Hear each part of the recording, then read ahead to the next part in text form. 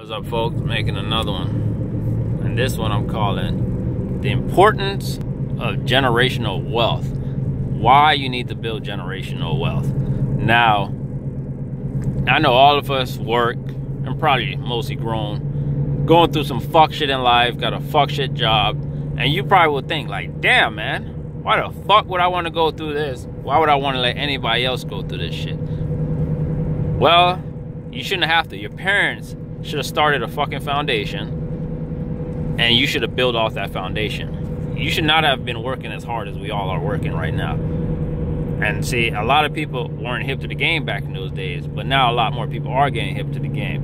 And this is the importance of building generational wealth. This is mostly going to cast that want to have kids or have kids because I know you're thinking like, damn, I don't want my kids going through this fuck shit that I'm going through and the bullshit. So you have to go through the fuck shit and bullshit and make sacrifices so you can start the foundation for your kids that you have now or your unborn kids that you want to have later.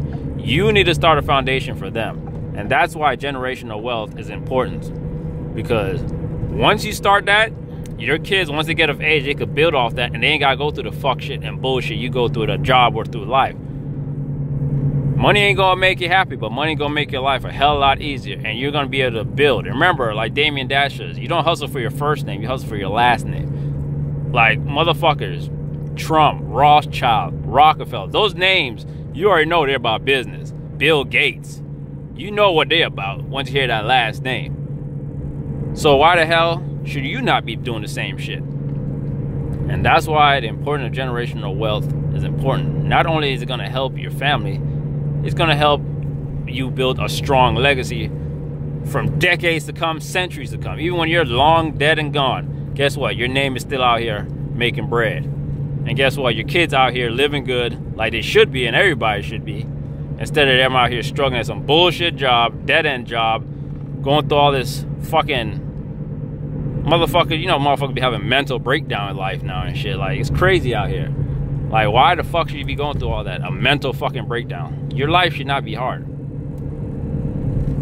But that's why it's important for you right now, if you're gonna have kids in the future, to build something to start a foundation for your future kids. Because if you don't, they're gonna have to go through the same bullshit you went through, and their grandkids are gonna have to go through the same bullshit, and the bullshit just never stops. It's the endless fucking cycle. Who the fuck wants to do that? That's what they call insanity when you keep doing the same shit over and over. Why the fuck should I be struggling? Why the hell should my grandkids should be struggling? Why should my kids be struggling? Why should my great great grandkids be struggling? That shit makes no logical sense. That's why I say you gotta build gener generational wealth. I mean, buy some land, condos, invest in business, do be in everything that's gonna make money. That should be the main goal. Anything that's gonna make you and your family money you should be in it. Yeah, it's hard to start with. No doubt on that. It's hard to start with. That's where you gotta have self-discipline. You gotta fucking cut back on something so you can save that bread up. So I just wanted to make this quick video about generational wealth and why the importance of it. You're going through some bullshit right now. Why would you want someone else to go through that bullshit? So make something happen for your kids before you even have kids. Or if you have kids now, make something happen before you go out so when they get of age, they ain't gotta go through the same bullshit you go through. They already set. So all they have to do is just build off what you started. But I'll holler at y'all. Keep pushing. Peace.